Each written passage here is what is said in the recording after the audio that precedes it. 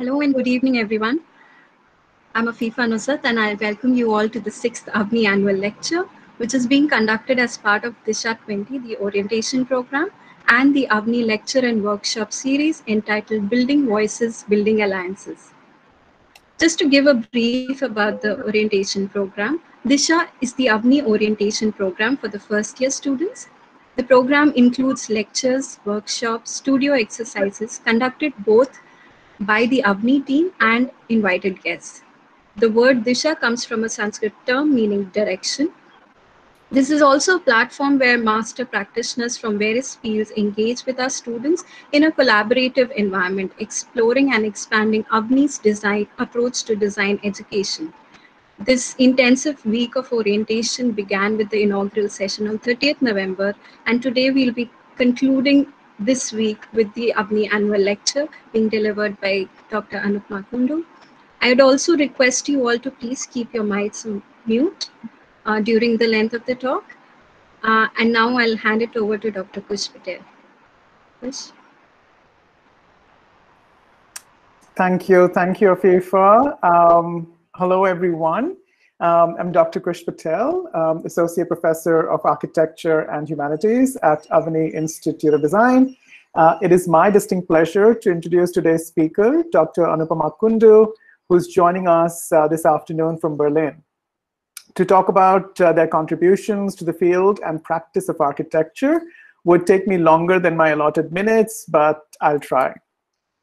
Dr. Anupama Kundoo's internationally recognized and award-winning architecture practice started in 1990, 30 years ago, demonstrating a strong focus on material research and experimentation towards an architecture that has low environmental impact and is appropriate to the socioeconomic context. She has built extensively in India and has had the experience of working, researching, and teaching in a variety of educational contexts around the world, from TU Berlin, the AA School of Architecture London, Parsons New School of Design New York, the University of Queensland Brisbane, to IUAV in Venice and ETSAB Barcelona. In 2014, she was the Strauch Visiting Critic at Cornell University and is currently a professor at UCJC in Madrid, where she's also the chair of Affordable Habitat. Dr. Kundoo was born in Pune. She graduated from Sir J.J. College of Architecture, University of Mumbai in 1989 and received her PhD degree from TU Berlin in 2008. Her projects and writings have been featured in a range of books, journals, and newspapers, including Phaidon World Atlas of Contemporary Architecture, AD Architectural Design London, Architecture Australia, Architectural Review Australia, India Today, Bauwelt, and Dudzam Baowen. As sustainability consultant to ICAEN for an Asia URBS partnership project of the European Commission from 2012 to 2014, she co-edited the Sustainable Building Design Manual Volumes 1 and 2, which reflect a partnership between municipalities of London, Barcelona, and Gurgaon in India.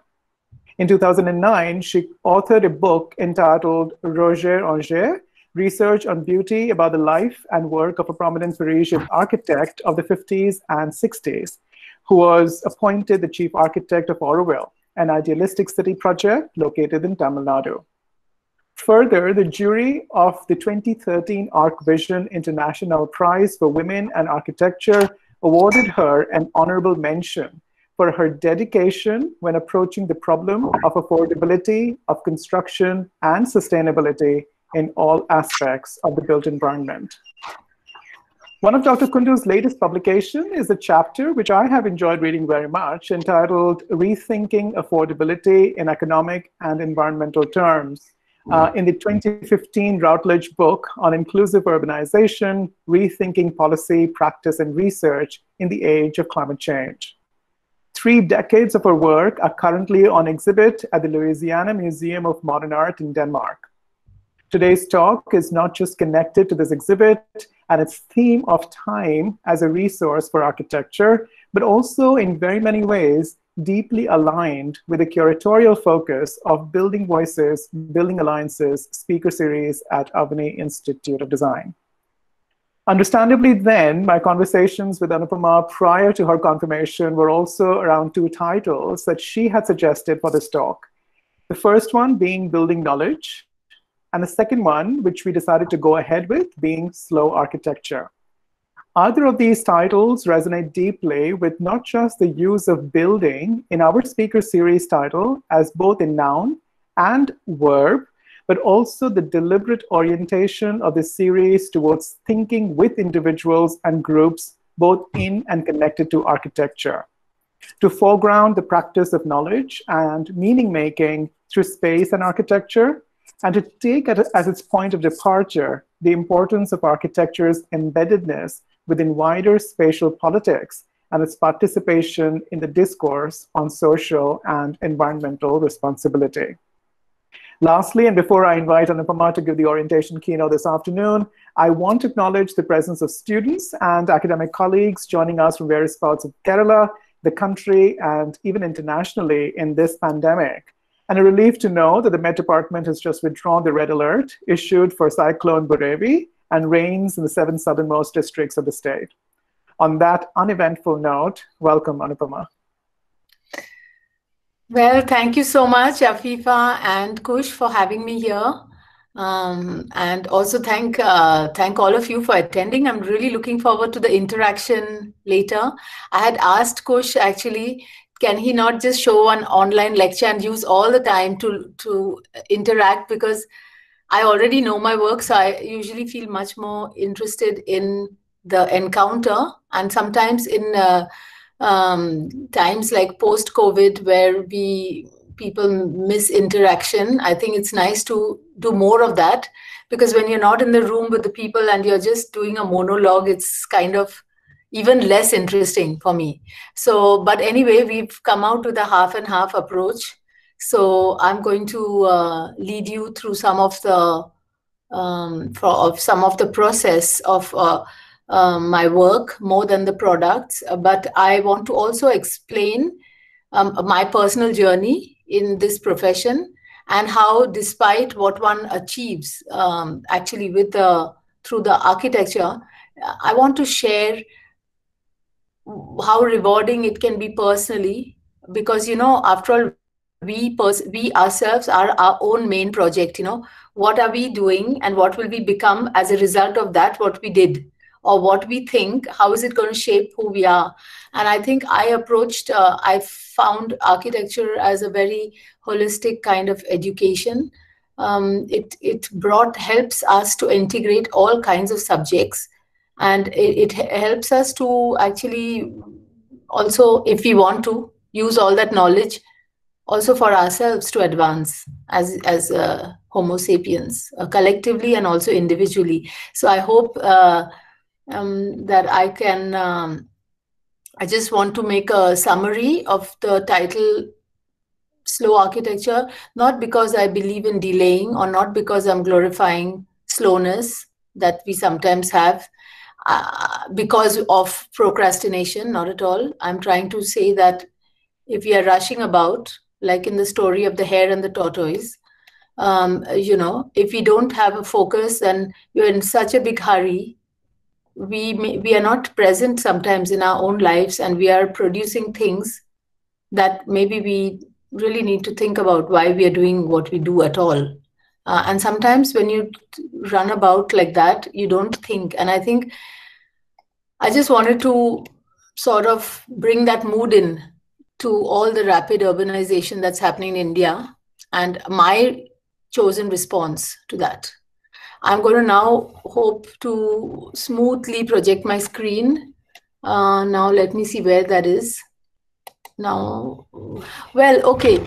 Um, I would like to start um, by, first of all, reminding us, if you look from far, if you zoom out a little bit and look at um, not only to zoom out in, in, in the space and look at the big picture, but also zoom out in terms of time and look at the past as before we project the future, you can see that good architecture in, in our heritage has always been about uh, about architecture being rooted in a specific place So what does it mean to be rooted in a place?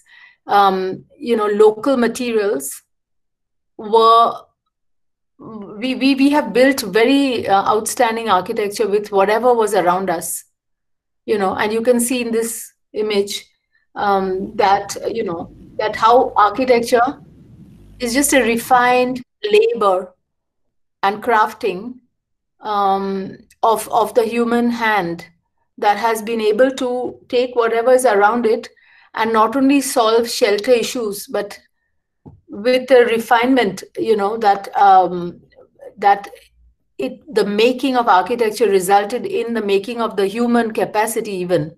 Uh, the, the, the, finesse has uh, exhibited itself in uh, iconic architecture. So the local skill and the local material goes hand in hand and that's how we can measure we can we it, it records um, the evolution of humans as a society as well so in the past we have see we have taken generations sometimes to complete a project and cities take lifetimes to create also but right now in the name of rapid urbanization we have been um, thinking that we have to speed up so much in what we produce. We think that as if this urbanization that is uh, unstoppable is is such a quick and fast thing, we we assume that we can um, cut back on the time required to think before we act.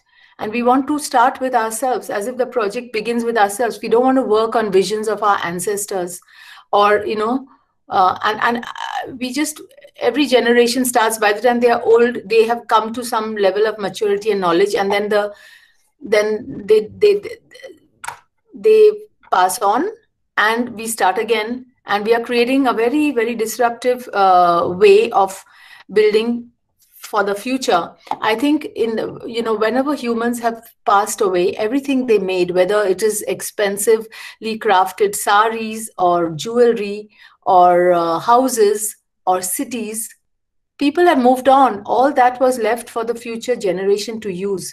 Now, if we are producing things which are very uh, inappropriate for if, they are not standing the test of time, then they stand as a burden on all of us. So I prefer that we don't cut back on the time taken to think because if or to make things keeping this larger view in mind especially because india in the Indian context, we are still primarily an agri agricultural society, uh, and we are rapidly transforming and flocking to the cities, and we are, um, which you know, this is a picture of Bombay where I grew up taking all these crowded trains.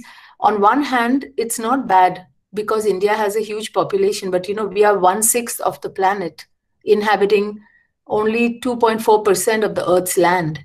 So we have very different um, we have to divide our resources in a very different way because we have more mouths to feed.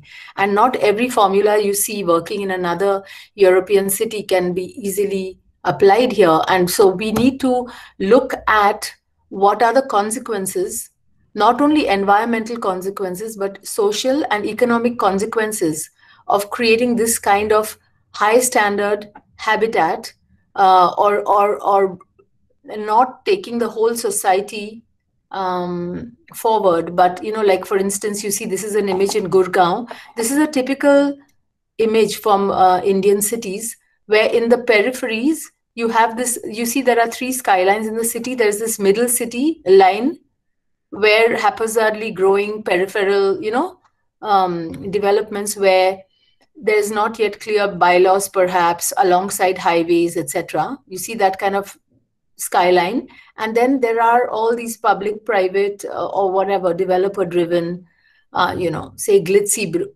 buildings and in order to build those people will migrate from various places and they create the four line uh, the the skyline which is in the foreground. And this that, that the creation of informal settlements is is quite problematic because we are in fact creating an urban form where social segregation is sanctioned and it's the it's the nature of our cities. And the, the two um, sectors as it were they are so interdependent that uh, they uh, they need each other indispensably to exist but they are live in a embedded inequality. And i think this again this image from bombay does not it's even more complex than that because it's not as if all these are slums as they are called. A lot of of these were kind of village settlements where an older lifestyle service uh, services have been developed etc but the kind of ap- apartments projected are out of their reach. This so there is this divide that is being continuously crystallized. And there is also this other phenomenon that in um, see when i talked about kerala immediately you spoke about the local food in uh, you know what you would have offered me had i come uh, to meet you there personally. So you know we have uh, in india not only so many languages we have so many building um, technologies according to the materials and local culture in every space but everything has been uh, uniformly replaced by reinforced concrete structures and uh, bricks which are not even allowed to carry load but just used as, as infill. So we are uh, using we've create, created a new vernacular um, which is um, actually standardized and it's alienated from all our knowledge and skills so the way to build in these you know industrialization mainstream industrialization happened in some parts of the world and they started building in standardized ways uh, with high uh, embodied energy. But in india we have we are trying to do that without having got industrialized mainstream in the first place. And that also is problematic. And it comes with a huge uh, a negative impact. So i used to think when i graduated on this kind of uh, thoughts you know that there is nothing so useless as doing efficiently that which should not be done at all. This is a, a quote i found from peter drucker many years later but it, this resonated with my own thoughts. I used to wonder when I look at that zoom out view of what we're building, I feel when you say rapid urbanization, we are building very ugly things in high speed. And I think half of those are not really necessary because you pay exorbitant amounts for apartments which you don't even like.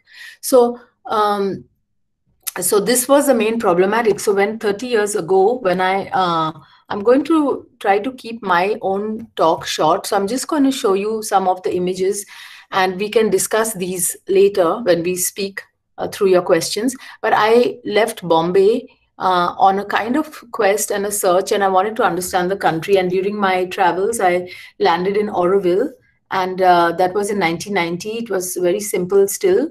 And I made this house for myself.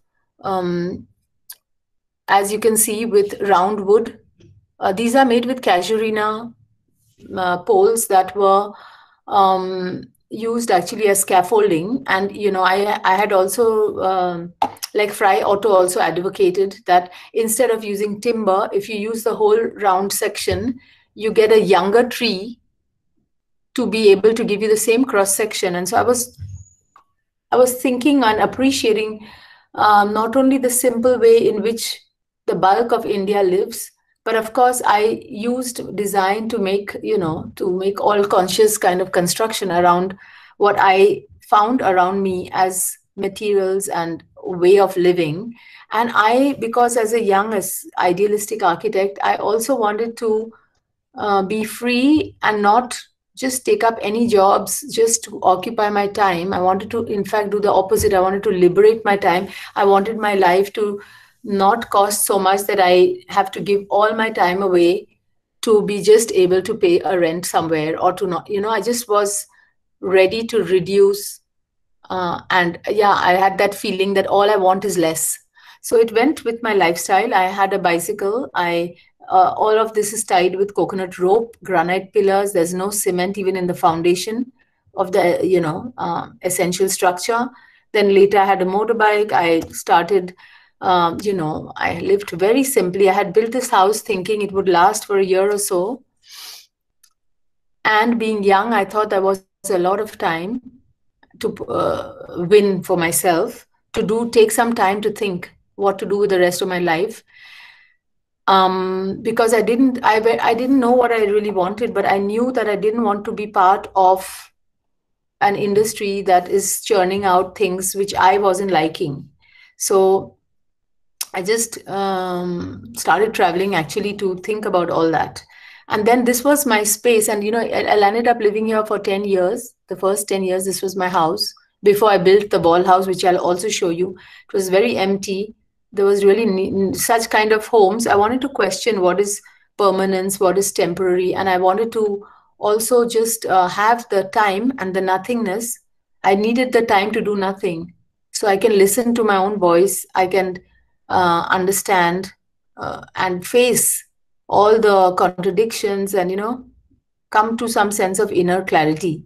And I, I would say that all the success I had later had to do with that, I think, when I now look back. And it took me 30 long years to be where I am, still pursuing the same thing but i had all that life experience you know where and i had liberated a lot of time um, so i i was able to look what was going on around me. At that time our auroville was very barren and i it looked like there's nothing. What do you build a city with? There's nothing around you. But when i because i took the time to venture out with a bicycle and look around me i noticed that all these things look like nothing happens. Because when you see the landscape you know and i, I realized that you know i, I never was uh, obsessed with the material aspect of architecture. I was rather interested in the spatial qualities and the negative spaces that make the feelings that are required you know for the human to feel well.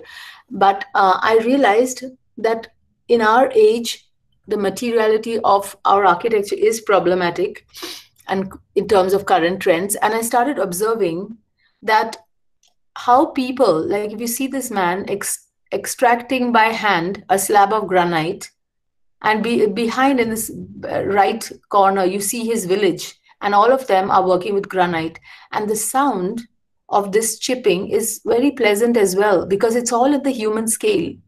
The extraction of material and the production of architecture is is very different when you have a industrialized quarry and those machine sounds of cutting those slabs where people in india uh, now these some of these villages have got those machines and the people are going deaf because it became the industrialization is not unproblematic. And it totally takes things out of the human scale. So in my first few projects i so this is what i mean by slow architecture is if you think that it makes sense to take local materials and the opportunity of projects to develop, to build knowledge, to build community, to help the resources reach everybody, the artisans and everyone. And you can still create contemporary architecture. These are self supporting slabs that are uh, placed in dry um, chips of stone. Uh, so it's it's a quite a nice engineering detail and uh, showcasing. This was for a made in India uh, kind of design store thing. Every every object was made in handmade. So I wanted the architecture to be also handmade. So it's very contemporary. But the back end was that those people were getting a further livelihood through their craft rather than dying out. And um, so, you know, I started doing a lot of other projects with materials from the spot. And uh, sometimes it is told that it'll be too expensive to make uh, you know stone random stone cut everything it's something we always did and the know-how is also vanishing but and therefore people don't want to do it. But uh, if you do it uh, i think it is very rewarding. And you leave when you finish a project you leave a lot of people empowered with more knowledge and skills including ourselves. And that helps us to do the next project and also for the craftsmen. So rather than uh, looking for a vernacular architecture, I was trying to avoid some of the contemporary problems of a negative impact around architecture. Um, and so similarly, I started exploring and understanding, you know, and also very influenced by Laurie Baker, whom I had met personally, um, and Ray Meeker and other people also of development or alternatives. And there were in, in the time i graduated it was already known these environmental problems etc but 30 years later we have hardly made a big impact although we knew what the problem is and that's what happens when you're rushing you don't take the time because you think i have to deliver i have to deliver and then collectively we have got an even bigger problem 30 years later of the same thing which we knew because we didn't do anything towards it. So I noticed as I used to roam around that uh, actually through Laurie Baker, I, I started observe. He opened my awareness, I would say, to realize that the local brick, which is inferior in quality, is is a better brick than the industrial one because of the way it is fired in the same way that Mohenjo-daro, Harappa bricks were fired, where the kiln is part of the brick making. And when it's finished, the landscape becomes empty again. And the people who, so when I was in Auroville, I used to go and take time and observe these people and notice how the making of materials are so embedded in the territory. The same people who are doing rice farming in other seasons when they can't do that or they don't need to do that, they are uh, taking the silt that collected, making bricks out of it, making casuarina plantations to supply um, their own reforested material for scaffolding. By the way, that is the scaffolding material with which I made my hut also. But the thinnings get harvested and used as fuel. So there is a kind of interdependent thing happening in territories. And you take one of these elements out, everything can collapse. So I realized why um, local lime making, um, brick making, etc., should be supported even if it's weaker. I realized, you know, I prefer to take something from my area, and then if I need thicker walls because the brick is weaker, uh, I can, I should find a way to use it. So in my early times, I used to notice some potters who were also losing their livelihood, and I used to, you know, as I spent time to observe my immediate, to be present in my immediacies, I started realizing what kind of wealth of knowledge and uh, invisible communities actually coexist there. And I started trying to produce roofing systems out of see I, I didn't i don't i wasn't nostalgic about the potter and keeping their pot alive you know. I felt like the skill is what i would like to keep alive and build upon. I didn't mind. I'm not a nostalgic person. I don't mind if those pots are not used anymore for cooking rice you know. I was more interested in the potters community being also able to evolve and for us in architecture finding products um, where we could find a higher insulated product you can see how unlike in a factory among these rice fields and banana plantations, these people are actually producing with coconut shells a very high quality product. And this is the negotiation of high tech with low tech, where through engineering knowledge, instead of like the Kerala tiles, where you use huge amounts of wood to be able to support those roofs, I was trying to uh, resort to um, catenary curves to eliminate all the substructure. This was also influenced by Rajendra and Rupal Desai's work uh, in in uh, Baroda, uh, in in actually uh, I forgot uh, Valod. It's a small village where they were working, and uh, so yeah, I I sort of together with masons and potters and also some experts like Ray Meeker um, the Californian ceramist who started Golden Bridge Pottery, through community uh, and and linking with people, I started coming up with roofing systems. Like you see here is the, the then after 10 years later, I got the idea. I was always feeling like taking the Laurie Baker filler slab and increasing the slab depth to make even less steel than to save even more steel than he did um, and uh, so I was trying to make loss shuttering slabs with with so little steel, you know. And so some I, I did a lot of that kind of experimentation. And because in the main roof I showed you um, vault where you don't need any steel, you can't use the terrace because the form gives strength. You need it to be a, vault. So I started using jack arches, which were insulated, and I kept on experimenting with various materials in my early part. So here you see one of the more known houses of mine, my own house, where I moved um, when I uh, began, you know, uh, to get out of the hut, you know, and I had already built for various people. So in 2000, I actually moved into this house, and these bricks are also very thin bricks. They are only two and a half centimeters high. They, they are the they were the ancient bricks that were being made and are still being made. There are many sizes that are made in in India actually of bricks, the handmade bricks uh, that are not influenced by the Mekke and the British metric standards, and they are still available. So I took that with lime mortar and I produced a house like that for myself to test various roofing systems.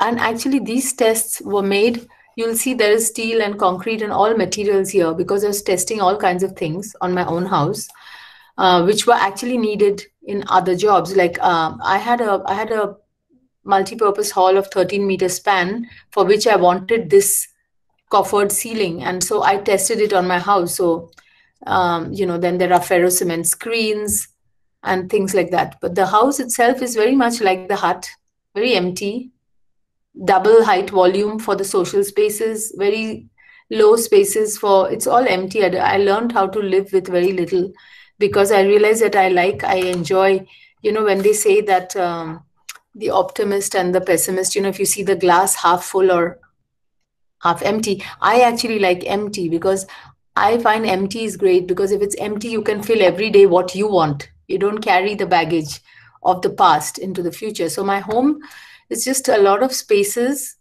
um, you know but um, yeah but but mostly was very much about experimenting with building technologies that because as, as i told you space the negative space is the most important thing for me the quality of the space that i design but i wanted to be held and defined by materials that are also benign and they help anchor the contemporary architecture to the spot and through the people and through the making. So some of those things, I'm just going to show you now a couple of projects in other cities. This is in Pune. This one is a daycare center. We just opened last year in Pondicherry.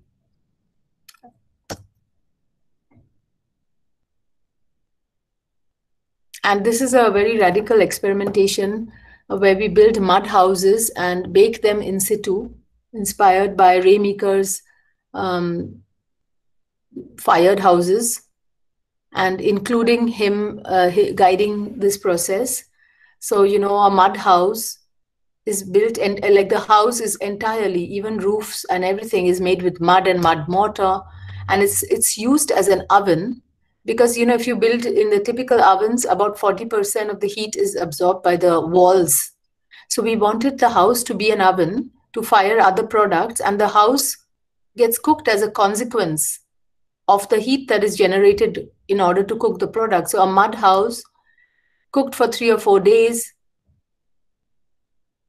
along with its products inside helps us to achieve a brick a waterproofness uh, water resistance of you know in our monsoon and this is an experimental project. Uh, it's in Volontariat homes for homeless children. And alongside, you have also produced a lot of, uh, you know, building materials rather than being a consumer. We are, we, we are a local producer of healthy material with which you can finish the rest of the house or sell and recover the firing costs so so I, I, did i did a lot of experimental projects uh, this is a school for uh, no, sorry. This is a library which includes braille books. This is also in Pondicherry. Most of these architectures were made with very humble means, but I also did a lot of experimentation in other materials, like in even with reinforced cement concrete, where the main town hall complex of Auroville, it has got very large spans, but we have done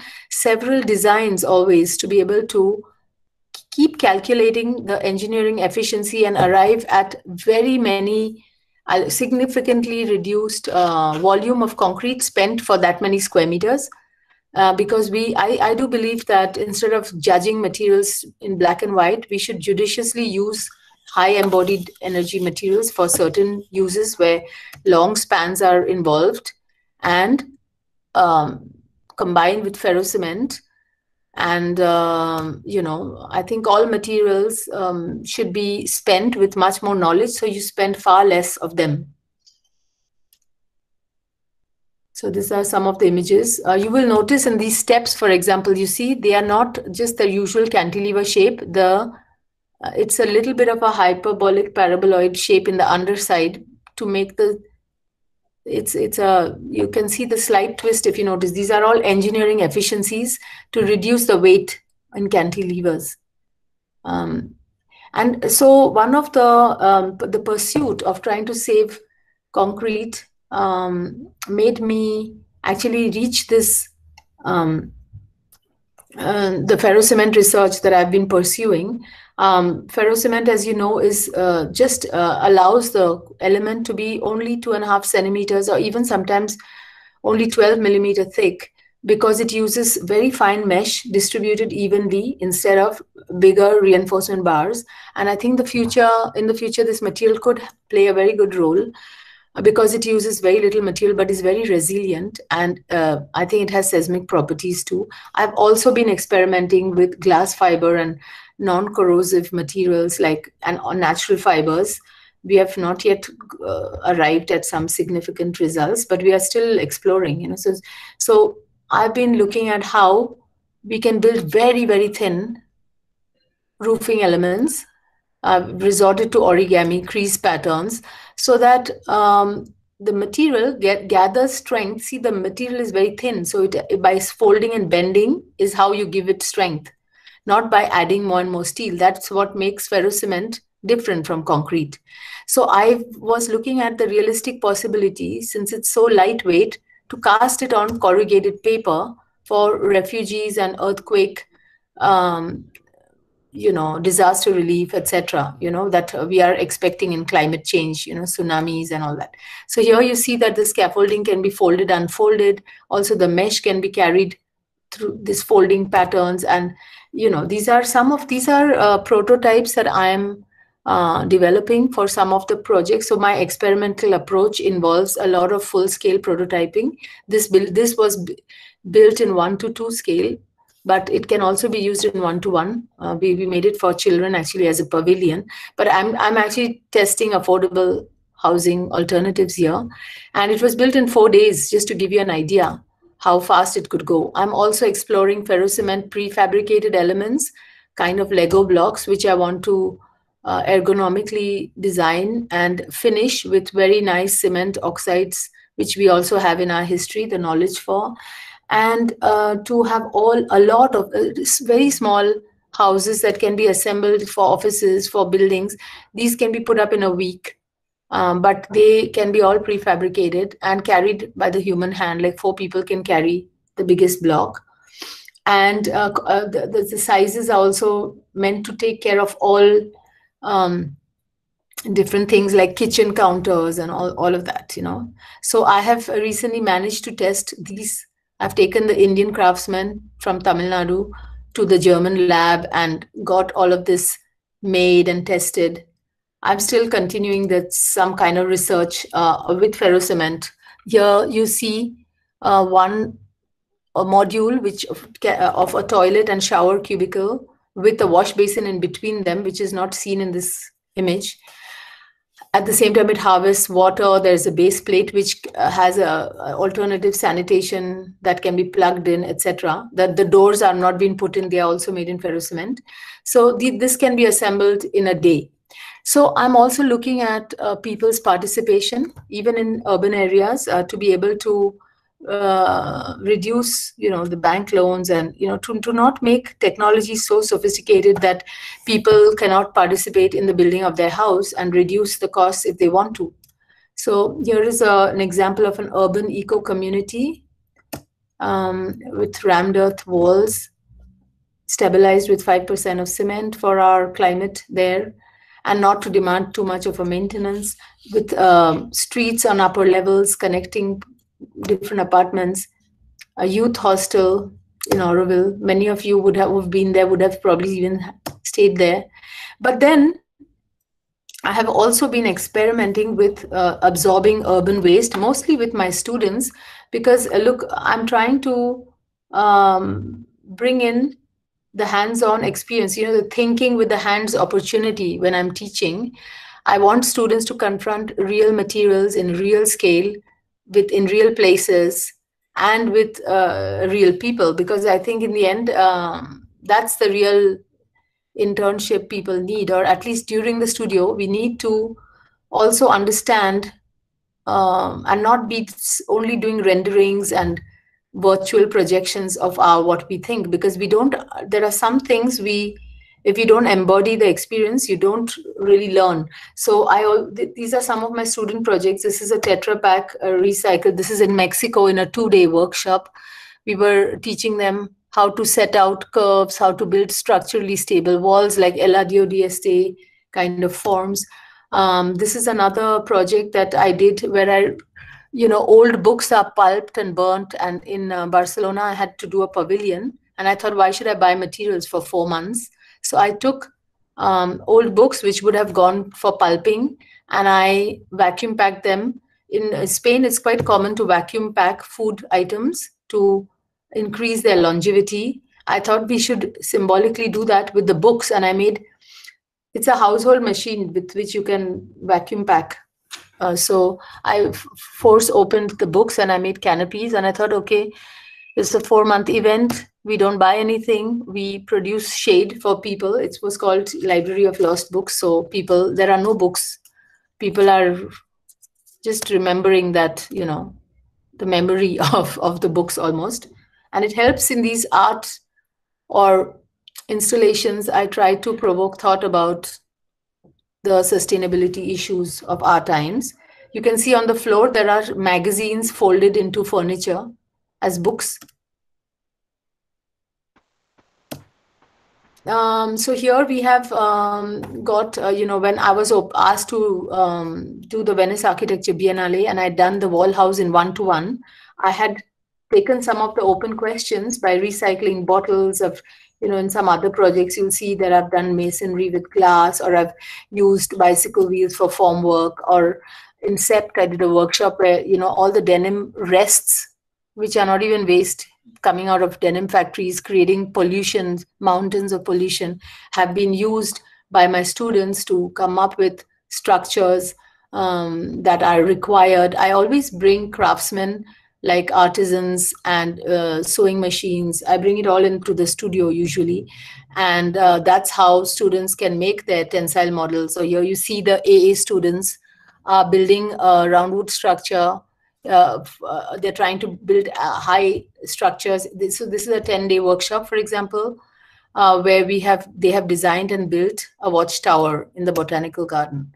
And finally, here's the ferrocement um, examples for students to discover forms or um, you know the, a little more on the book sofas that I have uh, shown you earlier. So just to localize the project, and I will be ending with that. This is, uh, I didn't talk, I showed the architectural material part, but most of my projects were located in the Auroville context, especially my early work. And I was also involved with the, uh, had the great opportunity to collaborate with uh, Roger Anger, the chief architect of Auroville. And um, the urban part of Auroville has not yet taken off. And uh, we were he had designed a very alternative kind of pedestrian city, which I really find it's a pity we have not yet uh, taken the urban step.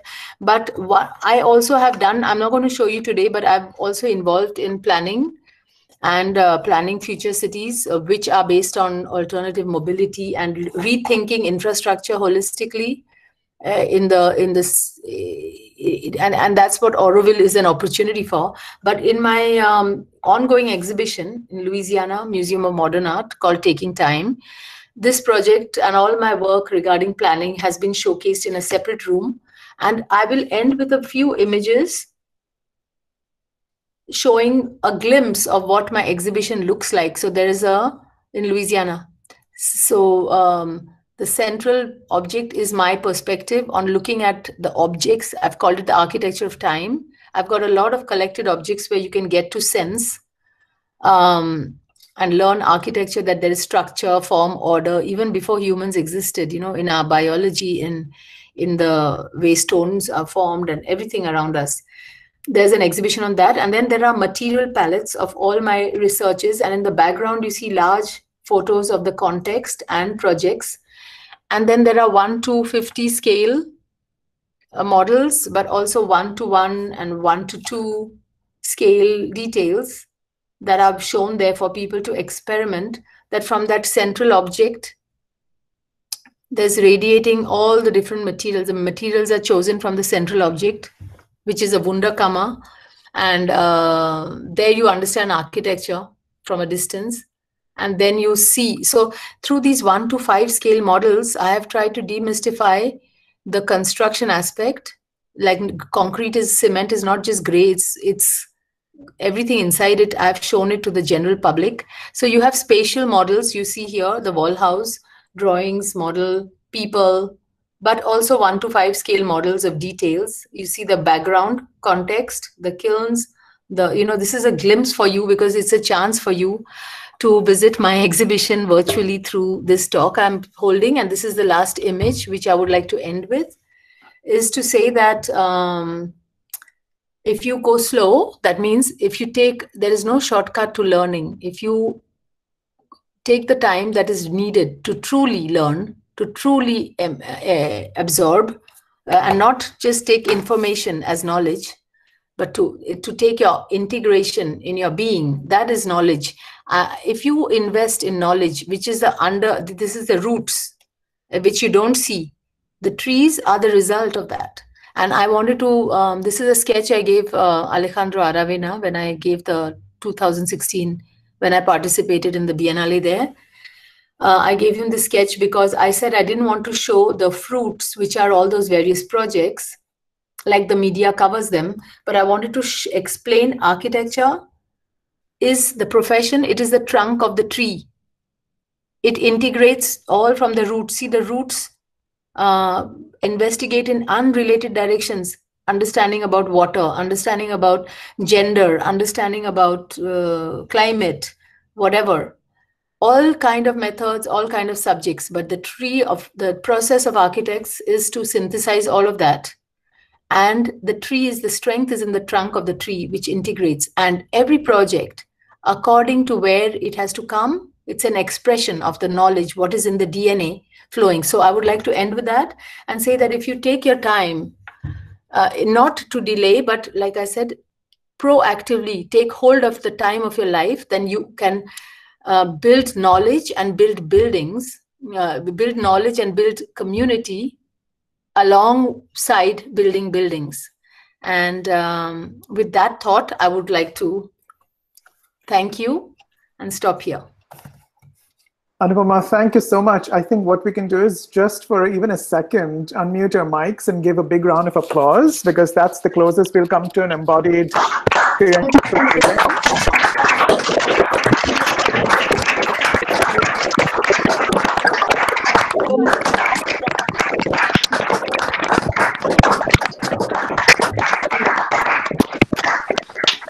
Thank you.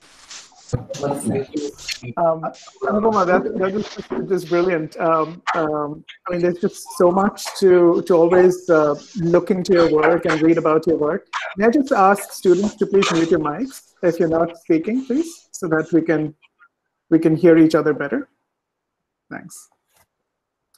Okay. Um, great. And so, you know, uh, Anupama, I mean, uh, what, what you had uh, what we had spoken about sort of you know crowdsourcing questions from the students which i've been able to. Students have put in questions and i've sort of grouped them um, in these domains of research teaching and uh, and um, design.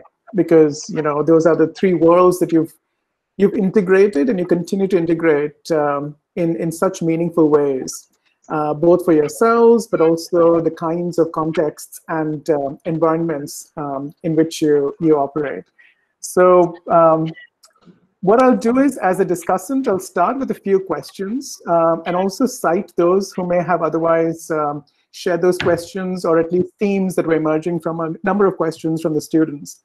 And after a couple of, uh, let's say, three or four questions, I'll open it up to the audience as a way to then um, hopefully have those questions generate even more um, curiosities or thoughts on, on the work at hand.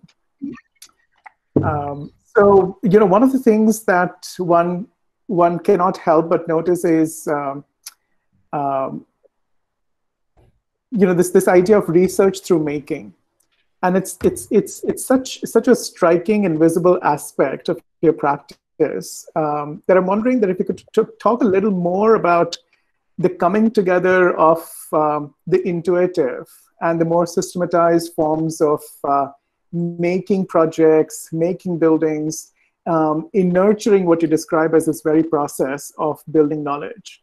So I'm wondering if you could start with that, you know, research through making and the coming together of the intuitive and the systematized in your work. Uh, yeah, I think that um, since we became a industrial, uh, you know, since industrialization happened, I don't think this was even in question. But nowadays, people think that we do the thinking and then we give it to a machine to make it, or we give it to the printer, or we, you know. So we we started treating our hands like as if it is separate from our head. I don't think some there's not anything new in it, but like when you have a thought, like when you're writing, you just put a pen on a paper and you don't first think and then you formulate a sentence then you write so i think it happens because we are the same being. Uh, our brain is doing one job the heart is doing one job but they are in they're all connected. Uh, i think uh, that is the the where the intuitive happens but that means it's not only that the intuition leads us to thoughts but the thoughts lead us to the making of it as well. And in the making like what i noticed is like when i learned knitting as a child i realized that at a very young age because it's just knitting i'm repeating that thing but i today i can think of three dimensionality I, I could already because I did a lot of knitting, for example. So I knew if you increase a st- st- stitch or reduce, how do you get curves? How do you make domes? How do you what really happens so what because this geometry of being flat you know or thinking that uh, geometry is a very fixed thing when you draw it on a paper because you're drawing only one view of it because the paper is flat. It's not that the drawing is flat. In your head the elevation plan and section is one drawing. Only we are seeing it from different sides. So i think the making really helps you understand that like suppose i give a 3 year old uh, child to take a square paper and fold it, they intuitively will fold it on the two ends and make a triangle. Most people will do it if you just give them a paper. And, and I mean, I don't, they don't have to know the name triangle, but they know that a, a square becomes two triangles. So doesn't just you, all you take is take a hand and you fold and then you know these are called triangles and two triangle is equal to one square. So you see, there's so much conductivity so I think um, it's such a pity to not exploit this intelligence, the intelligent hand. And when I say the whole body, actually, when you move, even I learned dance, and you know, when you learn dance, you know that, you know, when you move your hand, this is an arc. Because this distance and my center, it will do this, and I can do further curves. You know, this is in our body, the knowledge. Every dancer knows that geometry. And they know space also. And uh, all of this is every day every child every day is moving around space you know we are in the city we have grown up. We've been in a space of the womb already before we are born. So we know about space we know ourselves we know we sometimes only i think uh, we actually already know all that but we have just got alienated uh, through the industrialization process perhaps and we are looking too much for outer things uh, you know. And i think if we give these making experiences or when you research you allow your hand and brain to connect again. That's the way i would put it. It's very simple. I think um, see like when you're cooking you adjust recipes automatically or you see something is burning you have a recipe you know the oven should do that many minutes and you say oh no the crust. Are you going to sit and say no i'm not going to touch it it's burning? I don't know why, but I just know that, or oh, maybe I put a too big a pot and maybe the cake is too thin, too low. So th- therefore it's burning a few minutes earlier. I have to put it off. So these are little knowledges. If you make that cake, you know. But if I only read manuals, I will never know that that what is to be standardized and what is variable. So the intelligence, the information remains as a cold information and i think the potential when you actually when we make models in a different scale we learn a lot of things but if you embody that and do it in your scale you learn a whole lot of things very quickly i think So I, I, I like to do that because I have experienced how much I learned by those methods. Yeah, and you know, it's it's yeah, yeah, it's it's interesting. You know, I think uh, what you're talking about this this kind of uh, embodied knowledge, right? And then and one really thinks of of the knowledge as embodied, and and kind of practiced in the world through our body. Um, what's interesting to me is also when I heard you say, particularly in this talk, this notion of a liberated time, and and and you kind of walked us through ways in which uh, that's not just a notion, but but but it's really uh, you know the way you've been able to immerse yourself in not in thinking about the spatial qualities uh, that make up a built environment, uh, the movement, the travels that you've done, uh, the kinds of uh, um, projects that you've been uh, involved with and led that, uh, that has allowed you to build both uh, yourself, but also build knowledge in relation to the people that you have actually come together. So one of the questions from the students um, is uh, that, you know, it's, it's, it's, it's very interesting as an idea to kind of slow down the time and, and to really immerse oneself in the place or the, the very um, um, sort of the, the requirements of, of of maintaining focus and maintaining understanding of a question and who it matters. But for students in this in this current distracted age of the internet, um, where where there's information that's galore, um, and the idea of place also feels a little too distracted than than something which is much more kind of um, identified with a geographical location. How uh, what advice would you have? How do you sort of how do you engage with your own students when they are kind of both part of a kind of a larger networked public, but also through the kind of very careful making processes that you engage them, you're asking them to connect with the people in a place. I always, um, uh, I mean, because I perhaps I, I live that myself, I always feel I never feel like I'm from this place or that place, you know. Uh, I've never felt like that. I feel like all the Homo sapiens are wherever they are born. And, you know, I mean, I think that it's a bit overrated. I mean, the cultural part is absolutely true, but the universal part, which is common to all of us, is way more common than it is uh, seen as. And I feel, therefore, um, see, whatever knowledge is created, like when the Romans discovered to do those arches the whole world is applying them or anyone you know i think we collectively are part of a uh, evolution and i like to remain aware of that but it doesn't help me to think like okay i can be informed what is happening in the us politics okay but it helps me more if i'm uh, i'm reading about it but in my own way i'm more present. In my immediate family i'm available.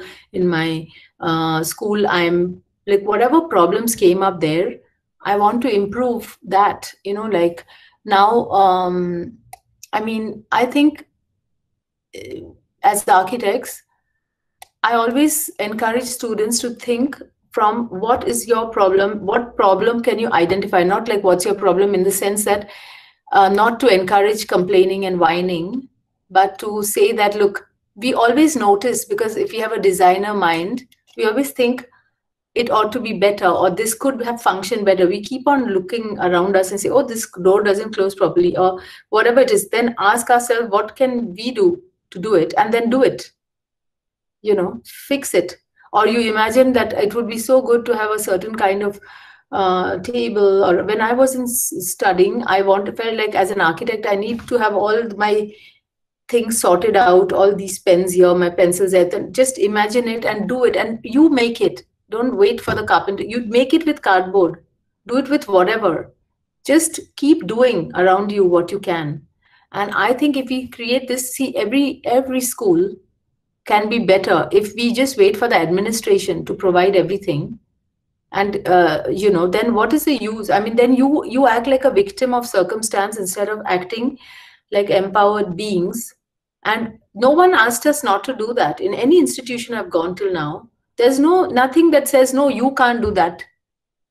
You you are free to who told we, we don't have to do the bare minimum that education asks us to do.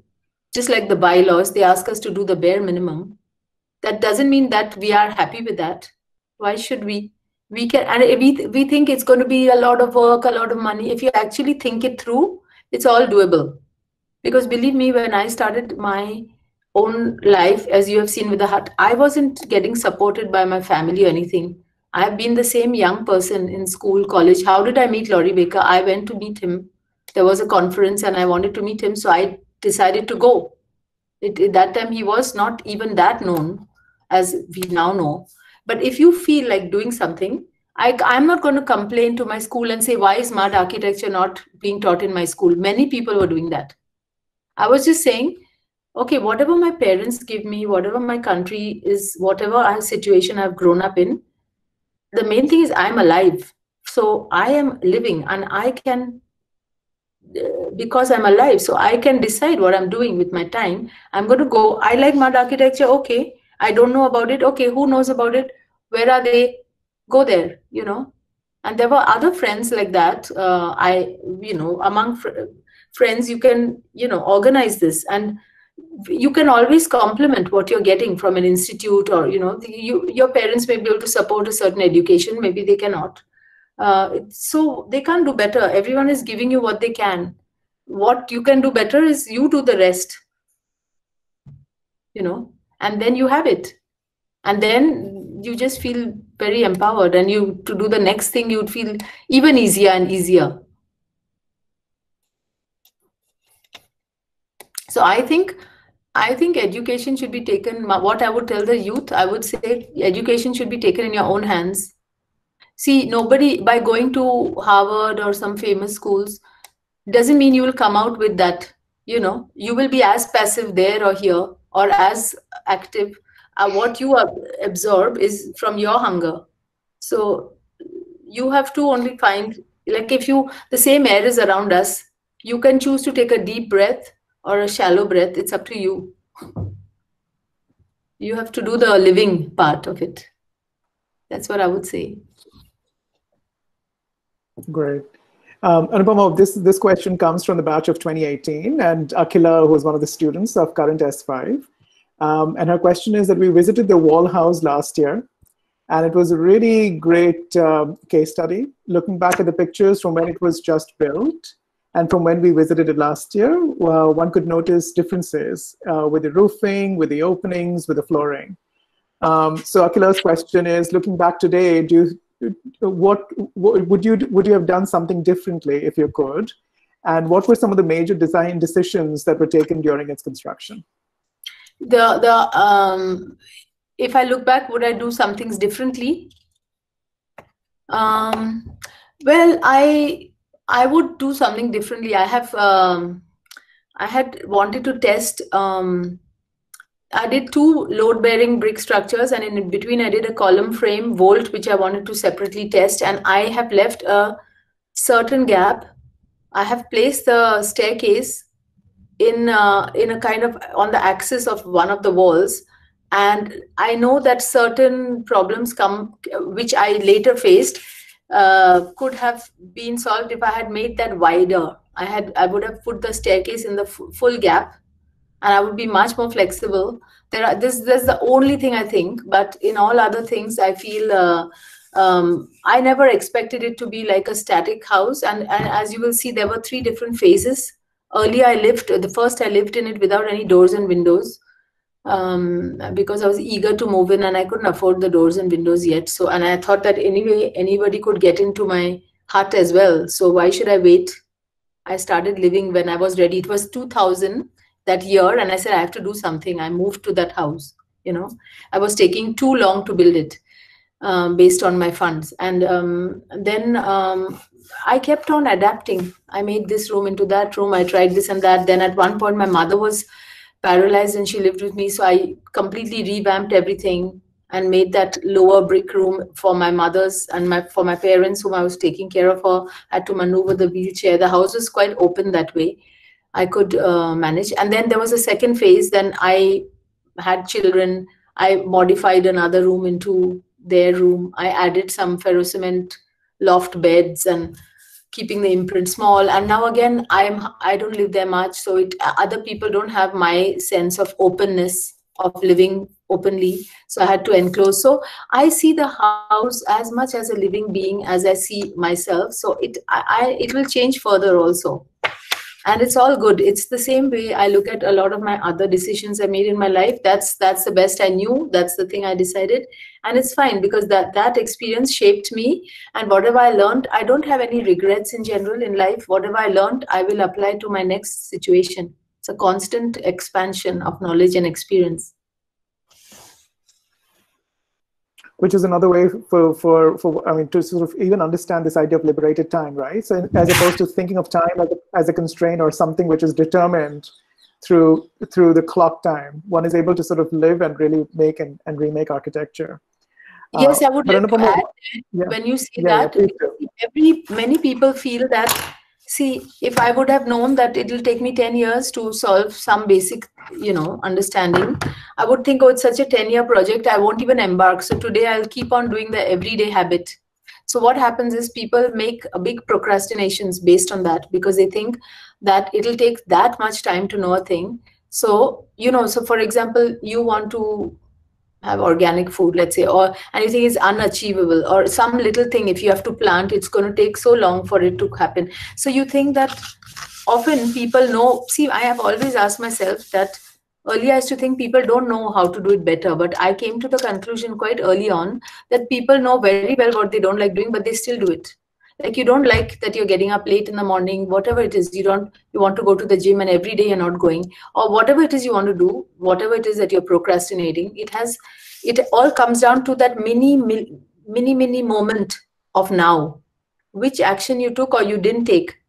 So everyone thinks of the future as a grand thing but it's the mini moment that's the only moment you're alive. So what you did or didn't do will affect your big future I did not do all this so that 30 years later I will get rewarded. You know, I, in that moment, it was, I have to overcome my laziness. I have to overcome uh, my ignorance. I have to, I know that I want to do this and that. If I want to do this and that, and I'm not doing in my today's moment the step that I would have to do to build this muscle or to build this thing, if I, it's inconvenient, I have to come out of my comfort zone, right? And that's why we are not doing it. So i realize that if i don't do it in that many moments there are many days i have not taken those decisions. And that's why i don't like to whine and complain. Because i could have done it. And i know what i did and what i didn't do. And that i very well know that this i'm responsible for the future i'm going to have. So we have to be to be awake and to inhabit your time. That's what i mean you know it's the mini, mini moments. Each mo- minute of your life, you think, oh, nothing big is happening today. I don't need to change anything. But it is happening because what you did today will be what you will predict. Every minute is a crossroad. Your your 30 years will look like in that scenario or that scenario.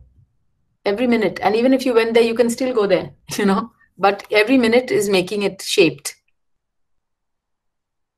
and everything you procrastinate will make it easier for you to procrastinate tomorrow because you the resistance will be bigger tomorrow if you did give in. So i've been battling those issues. Um, Anupama, one, one question I have, and then we'll open it up uh, for questions from the from the students and faculty as well. Um, mm-hmm. is this uh, is this question of uh, teaching. So we've we've you know we've looked at your projects, uh, you know the, the very embedded ways in which you design, and you've also walked us through your teaching. And and Vidya, who is currently in her third semester, um, has this question for you: as to one, how do you engage students in your teaching, which we got a glimpse of and an understanding about as well. But then, what do you learn from your students? And how have you been able to integrate those learnings back into your architectural practice? So I don't try to. What it was the thing? How do you include your? What was it, that formulation of the students? How do you engage? So it's, uh, one, how do you engage students? Yeah. yeah so Two, you see, I don't try to engage. Okay, my, yeah. I do the same to my own children also. See, I don't try to motivate my students and all those things because you know i realize no matter what you do you can't actually motivate somebody else you know actually i believe this okay uh, maybe it's not so nice for a teacher to say that but i think that you know there used to be a time when people were dying to learn you know and then they were not getting the teachers you know. We learned when i learned classical dance we learn all this in our culture very well. We don't pay we don't think oh i've paid them so i am automatically getting the knowledge. No what we pay is nothing. What he's giving me is priceless you know the attentiveness to my development. So i i don't think i have to motivate you know i just don't like to uh, i think i wait that they are motivated. I whoever's motivated if you're motivated if you are not motivated what can i do? I can only try to not uh, make your life more miserable by making you do things which you're totally not relating to you know. And if, if somebody is so full you can't give them more food you know. If the hunger is not there what can i do you know? I can wait till your hunger comes you know i'm i'm there you know. So i try to i don't try to engage people. I don't make effort there. But i i hope that the way i live and the way i take my own teaching or my work seriously i hope that it rubs on to them because it can happen that you get stimulated. I get very enthused when i'm with other people who love their job and their things. So i also like that kind of company. And i hope that it does affect them um, and many and in the same way their enthusiasm affects me. So when i see a student is really really aspiring to do something um, you know a problem which they are not when i see they are not giving up even they are not uh, you know getting it but they're still finding out researching building this model doing when i see that i'm they inspire me too. Because in the end i don't feel like who's inspiring whom. I think i believe in that collective um, you know sort of vibration of mood you create you know of investigation and all that. So i don't have this feeling of superiority or inferiority or anything. I feel that like with when you meet any other person and i'm also that way social even though i'm also introverted i mean um, i when i meet anyone i'm interested. If i meet a child i meet an elderly person i'm interested in their thoughts. And um, and i think you always take something back because uh, because you, if you're open you you you know I, I mean it's stimulating i think. And, and mostly if i'm inspired by the students it is just that because they are young and i get to know that their pulse i get to know their world their generation. That's what i take back. It makes me expanded.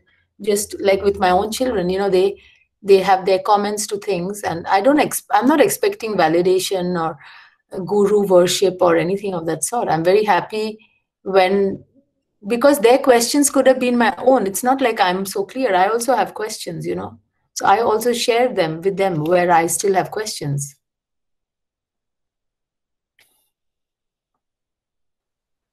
On that uh, on that note of questions let's let's hear from from uh, from others in the room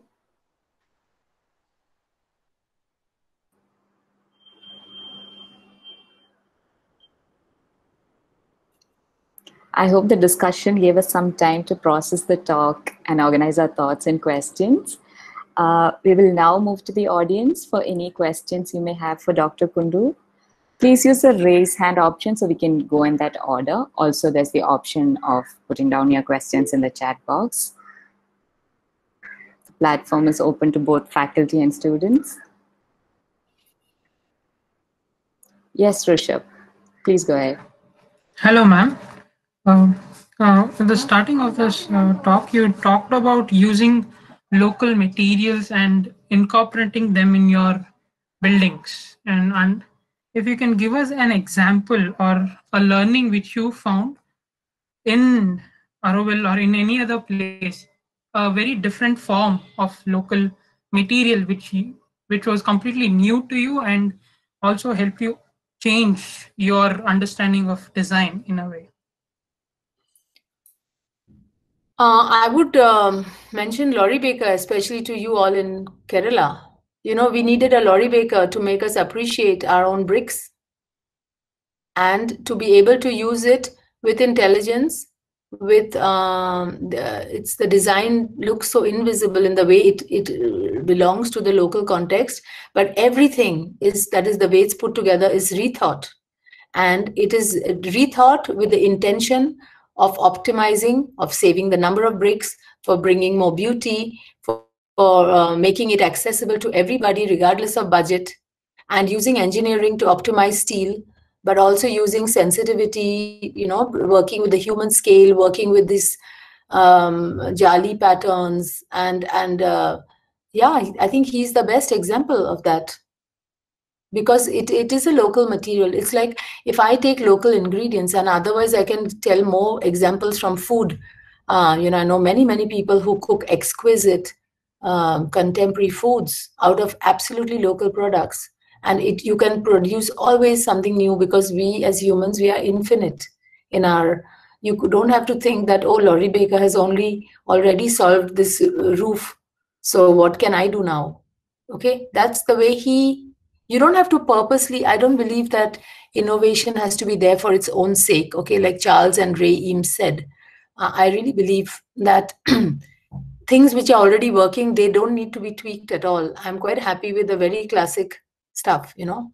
But there are, the point is that every at every moment as we evolve as humans and as the human also evolves we keep needing different things and those we keep manifesting problematics of the, as a society uh, grows and evolves. And we have to uh, steer our way in a lot of social transitions and all that. So there are always so many areas where uh, design could make uh, something uh, can really significantly contribute. And so i don't think that we have to purposely look for innovation for its own sake but there are if you genuinely identify things that can be much better for our use as humans. And uh, then there are endless places to contribute.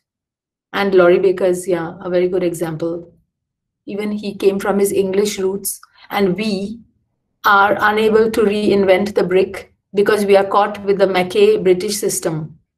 But he wasn't. He produced an architecture which people identify with Kerala worldwide. Thank you, ma'am and with the Kerala tile also. Thank you, Rishabh. We can probably take one more question. Very nice question. Yes, Anis, please go ahead. Hi, ma'am. Uh, my name is Anis and I'm a third year student at Avani.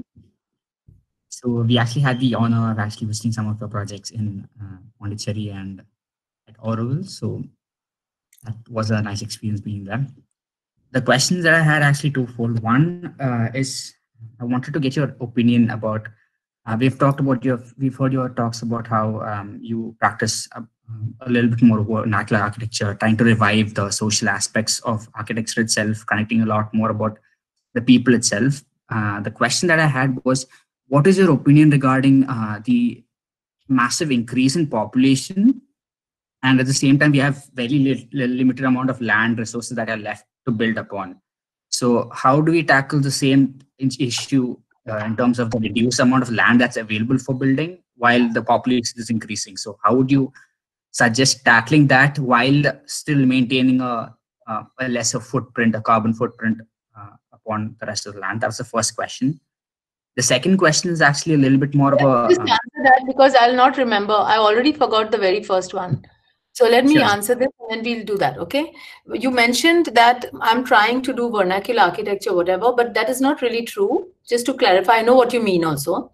But it's not, you know, because I vernacular is a thing which used to go on in a settlement as it was. A lot of people confuse local materials with vernacular architecture, and that is not really uh, the right definition. If you look at Banister Fletcher's vernacular architecture. So we look at a mud wall or even if you if i would color uh, some mud plaster on some concrete thing it will be called vernacular. That is wrong you know. So because there's a lot of design involved. In vernacular you do it because that's how you do it you know.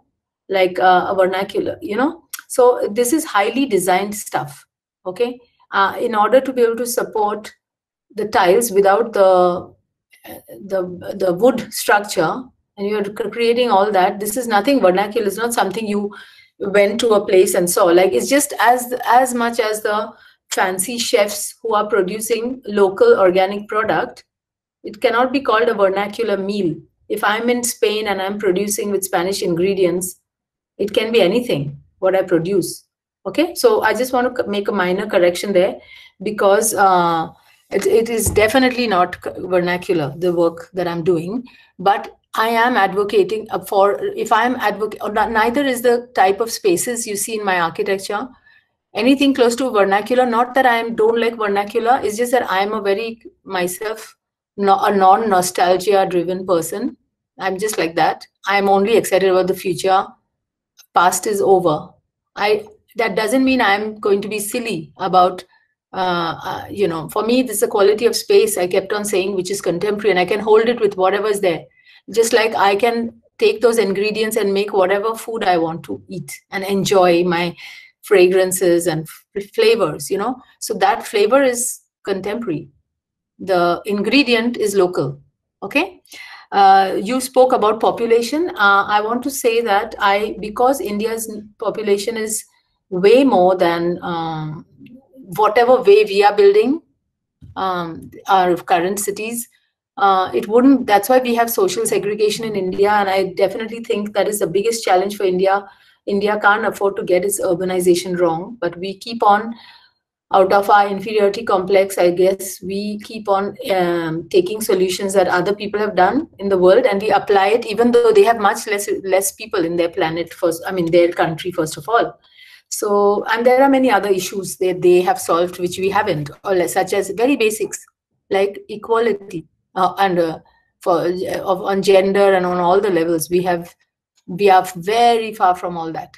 Okay, so without having all that, we don't even have electricity for everyone. We we want to go digital, so we have too many gaps there. So that uh, that apart, I think um, for India, but also for the rest of the world, the future of cities will uh, a lot of the infrastructure you see uh, where india is producing apartments towers without having infrastructure placed beforehand.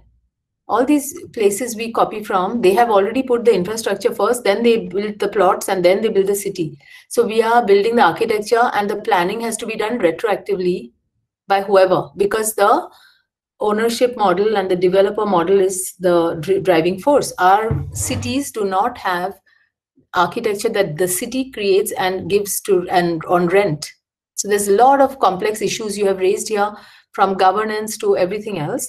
So, but if I talk only about the physical aspects, I think that the the key challenge which I've been working on, I don't have full answers, but um, what I showed you, my last project, um, based on Roger Anger's master plan. It was already conceived 50 years ago as a model city approach.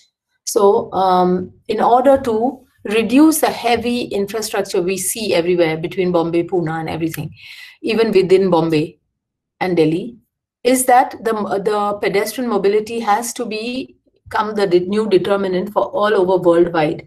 And if the car doesn't have to reach every because few people will have car very small percentage and most of the people in india still walk. If you look at the london school of economic studies they, the walk and bicycle is still the bulk of the population and we have we designed nothing for the bicycle. So we have to reverse this and that will lead to um, uh, much more smaller compact cities and cars and vehicles will have to be kept every aside so that the pedestrian will, will require narrower spaces. So there will be huge land economy. If you look at how those highways and roads and parkings cost, it's a lot. And India should, like Japan, because they have similar problem, they should uh, make people who uh, like you cannot just park a car anywhere. You have to. You want to own a privilege of having a car in Tokyo. You decide whether you want to build one room less and make it into a parking, or not. So here we do opposite FSI free because we think we will boost the economy by selling cars. And uh, so few people have the car and all the other people have the traffic. Even especially for bullock carts, they have to go uphill on flyovers. It's a disaster. So the new mobility will create uh, those kind of cities. Now, I do think it has to go high rise and that's the challenge. And i there won't be time to explain that here but you can look it up in google. And i have shown a huge room uh, where building upon roger anger's urbanism plans for exactly what you, your question was. Um, there's a project called line of goodwill that i've been working on which uh, which has a pedestrian mobility on high rise but they are horizontal towers and not vertical ones. They are very sloped. You can walk on the roof. See all the buildings in apartments all the roofs are wasted all so i i am want the roads to be up there you know so it will yeah it's a complex question but yeah i am working exactly on this you had a second part of the question Yes, no, the, they aren't actually related, but the second part of the question is more about um, uh, architectural pedagogy. And um, I've come upon the uh, works of Neri Oxman, the Israeli architect. Uh, she researches a lot more. She works with the MIT uh, Design Lab, and then her works are more uh, about research of material itself. But the kind of material that she looks into are a bit more of a living uh, materials, organisms, and how that comes into play in architecture and things like that. So, what is your opinion on that sort of a research? I don't know. I have never heard about her work. So, you can ask me what exactly you mean, uh, because I, I really don't know what the reference you're talking about. Uh, so basically, she's an Israeli architect. She's working with the MIT Media Lab uh, design lab. So what the work, the design uh, research, what she's actually doing is, uh, like you've mentioned earlier in your talks, it's a multidisciplinary design lab wherein there are uh, microbiologists, there are engineers, there are architects, and all of them come together to produce design and material research that are not just limited to um, the non-living organisms or non-living things like uh, earth or clay or baking out. It's actually also about organisms and how they can actually be a part of architecture. For example, the mycelium bacteria, they actually Yeah, use yeah. bacteria to build uh, structure. that. So, what is Yeah. your opinion on research on that line? Oh, I don't have any opinion. Everyone should research whatever they want. I literally don't have any opinion, sorry. But I have a lot of students working on mycelium and all of those things. But I can just say something related to what you said. And you, those who follow me on Instagram will see that I'm detailed reporting on that. I'm calling it the architecture of time. And I've explained how time is the architect, actually, the passage of time, you know, has formed uh, caves, stalactites, uh, bubbles, uh, stones shaped by sedimentary rocks. So it's just a passage of time that creates space, uh, the, the order in which space and matter come together and reveal the invisible forces or laws of the universe. And I am encouraging people in that Wunderkammer that I've put up in the exhibition to understand uh, architecture before uh, architects and before humans even so th- there are three categories in that. That's called architecture of um, i've called it architecture of matter. According to evolution there was first matter but even in that there was architecture.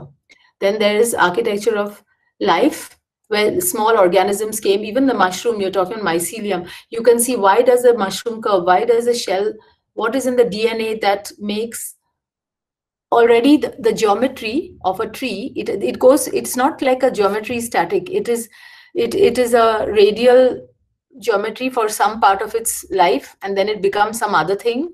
And throughout like a seed becomes a tree it has flowers the fruit is something else. Um, so what uh, how is the dna inside life that the that the architecture is in the cell and how it en- unfolds over time and uh, to study order there's almost uh, no question that time has not already solved in terms of space order in my opinion. And i've i've not uh, again i said this is not an opinion it's a gathering of objects that i've archived over there. So the second section is the architecture of life. So architecture of matter architecture of life and then i've added architecture of mind. Because i think the human mind is going through its dilemma uh, of not being a perfect instrument but we have our biology we are in the life category but we also in life at some point mi- mind sprouted. And it's not perfect but the mind has created constructs which in fact create other architectures like whether like i said whether you knit or weave or make a brick mold. Because you made a brick mold suddenly all your walls can be made different. So they affect architecture you know. So the the, the tools you make like it's like the homo faber. You make the tools and the tools make you. And like that's how humans because they were not using their two hands when they learned to walk. They to they learned to walk to look above the grasses to protect themselves as a weak species. So they look and because the hands became redundant they didn't know how to take the weight. So they start to use the hand and develop skills. And then they've developed tools and they became more and more powerful. This anthropocene age where we are commanding so much of the earth you know i am interested in uh, biology and anthropology because in order to design habitat for the humans, you have to first of all know what humans need. Like Jan Gehl said, we know our biologists know what the what habitat does a dolphin need, what habitat does antelope need, what habitat does anything need, but they don't know what habitat do humans need. Uh, no one's seeing that part. We take it for granted. So there is so I'm interested for that reason in biology because what is human and how are the human evolving, and also anthropology, which which gives us a very these are the new two things I'm studying. And I think uh, in the general, uh, I don't know what about that lab, so I don't want to comment. But I think interdisciplinary is normal and uh, to do. I mean, it uh, it's. I think we should never exist in isolation, you know, because uh, then the knowledge it becomes too insular. That's all I can say to that. But you can uh, visit if some of you have Instagram. You can um, because I don't have an opportunity to tell all those things that I do. So I, because of my exhibition, I'd made an effort because there was too much material written by others and nothing coming from me. So I thought, okay, it's a huge effort in the COVID times, four years of preparing an exhibition. So I decided to take a few minutes from time to time and explain little little bits in very small bites that you can chew. so I'm I'm doing that record mostly for myself to go to one spot and have the pictures and have some comments. So maybe there you'll find out more. Okay. Thank you. Thank you, Anise. Thank you um, for all these questions. Did Wafa have a question? Yes, ma'am. Ma'am, I'm Wafa from the first year. Ma'am, I was fascinated by how you used the Tetra Paks uh, for the installation. So, uh, the, this is a question that came up into mind. Uh, how can we reduce plastic waste? Because uh, there are tons and billions of plastic waste that's being generated every year. And how can we use them into architecture? Actually, I don't want to use them because, you know, we are giving a false message as if uh, people should keep on doing plastic and we will magically come and absorb them. So regarding plastic, I don't, in general, I don't want to do that. I have used Tetra Pak because it's the hardest material. Again, I have not done it to, to uh, uh, pretend that I can solve the uh, anything for the Tetra Pak. You know, Tetra Pak is got four separate materials. It's very hard to recycle. It's got aluminium, it's got plastic, it's got paper, it's got lots and it's a very sophisticated product that is made to be waterproof. Um, so i thought you see when i do these workshops when people don't have a budget and they want to work with the real material i tell them to take an unconventional material like a book or whatever you have. I'm not doing it because i want to uh, promote uh, promote the message to the in, uh, industry that you produce any junk i'm here i'll come and fix it. No i don't want to do that. But I, I do want my students to get sometimes for play an unconventional material which they can discover and do something with it. Because i believe that when they go back they will realize that even the brick i can look at new. Because i just learned how to look at it new. At the same time i made a structure. So if i use those material it's only for that. And also because then it doesn't cost anyone anything this is something you readily find and we can have fun and do something for two days where there's a lot of learning. So my uh, focus is on what can i learn from that least tetra pak issue and what can each student learn. And uh, so what we had done in that case is we had filled we realized it's such a waterproof fantastic material. Why crush it? All those who recycle tetra pak they crush it and they use uh, more chemicals and stick it into boards I really question all that. I think, oh God, why should you make even more chemical spent? So, and in the end, you don't even know it's Tetra Pak. It just looks like a funny, uh, ugly, untidy board, which is very costly and um, problematic. And I, I, I don't believe in this kind of recycling also.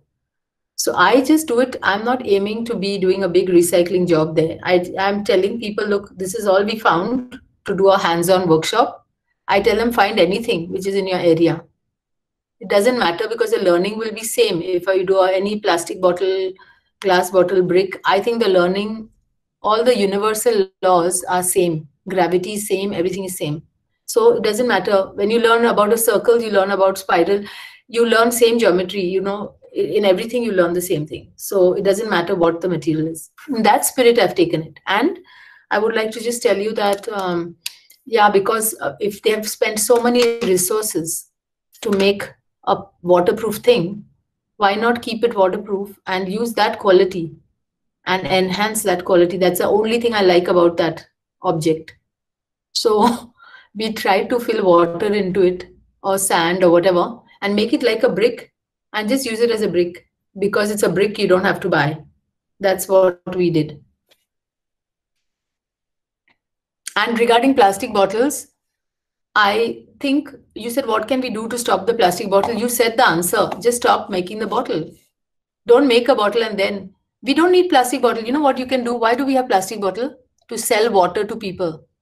What did we have earlier? We had everywhere a fire hydrant and a water pipe in every village in. India, you have a place where you can fill your bottle in a tap. Some places in Australia, they've done it all over the campus. You just have a clean filter you have your own bottle. I have my bottle. I go there i fill the water wherever and go. And there are times you want to buy it okay? Like in an airplane for some other law they're not letting us take a water bottle. Okay they're serving us. Okay fine. Let's not be religious and fanatic about it. But that doesn't mean everyone has to buy a bottle all the time as the only way to um, breathe. Suppose I tell you the air that you breathe, oxygen, will be bottled. It'll look ridiculous. When our generation was seeing water bottles, we used to find it ridiculous. Now it looks normal. So what do we have to do with that? Is just when you want to stop something, just don't don't start it. Or make those people pay the real cost of recycling and fixing it. Then the, it'll become so expensive that nobody will have it and they'll realize it's much better to put clean water points all over the city. So cheap. Ma'am, I just wanted to inquire about the existing plastic waste that's been uh, deposited onto the oceans and uh, the beach side. Yeah. Because people are coming with innovative ideas. Yeah. So I just wanted great. to know how it could be taken into architecture. You just look at all those ideas. Lots of people are doing things with all that, you know. Uh, so everyone has to do like it doesn't have to be through me, you know. I mean, uh, in the sense that um, I'm working on the causes that I feel motivated towards, and uh, I think you yourself can start. You will know because you're thinking about this a lot.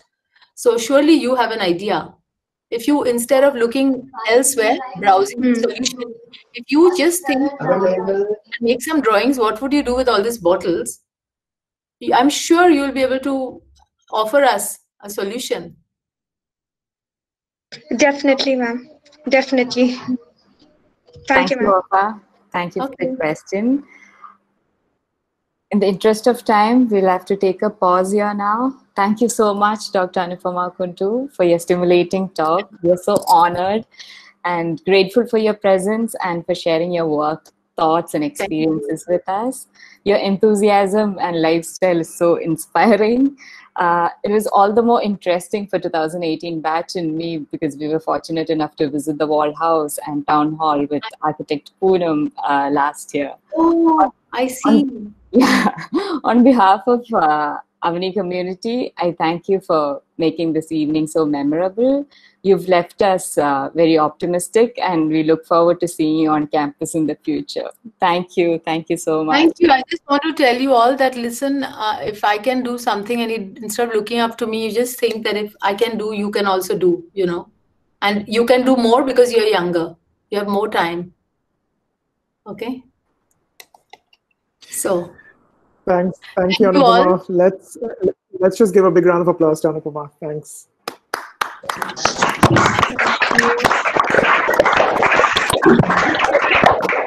you all. And you think that.